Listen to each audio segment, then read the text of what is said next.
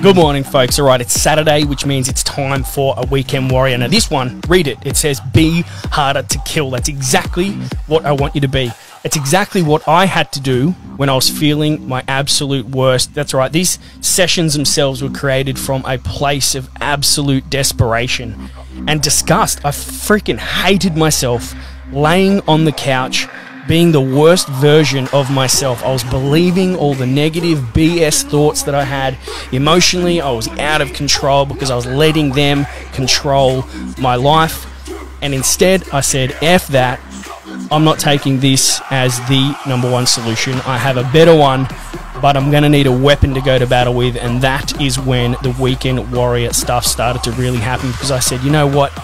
The average Joe would do this what would the next guy do? What would the next guy do? What, what would the superhuman version of me do? And that's what I created called the Weekend Warrior. So I'm like, okay, so if I did a workout, you know, pat on the back to me. I got up off the couch and I did a workout. The other thing was, you know, that I, that I know that works with mental um, dialogue and, and bringing yourself back is also covering distance. So I said, yep, tick that box. What about covering distance with weight? That's even harder again. So, what about if we join them all together? And that's exactly what I started to do. I didn't know the distance I was traveling, I was just picking a location, which is exactly what you're going to do today. You just pick a location that you know is in the general vicinity and you're going to get there. But not only are you going to get there, you're going to take some weight with you. All right. And what I was doing was in the form of a backpack and some piece of equipment. One piece. Could be a kettlebell, dumbbell, sandbag, skipping rope didn't matter, but it had to be something that weighed a little bit. Okay. Then, so I was covering distance. I was covering distance with weight, and then I was doing a workout to boot. Right. So that's what I thought to myself. That's exactly what I need. I need to become the old warrior version of myself, the best version of me that I've ever been.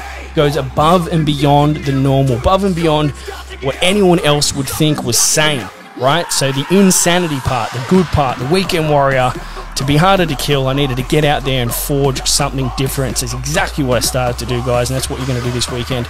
Just for a little bit of context, find that backpack, find that piece of equipment, throw it in there, get there, get back, okay, but make sure you smash out a workout of some description at the uh, destination before you come on back. And that is called a weekend warrior session. And I want to hear about what you did. So in the comments below, right, tell me what distance you covered, what you carried, and what workout you did. And if you did a cracker, let's all do it again next weekend. Let's see who got the best one. Challenge accepted. Comment below. Let's go.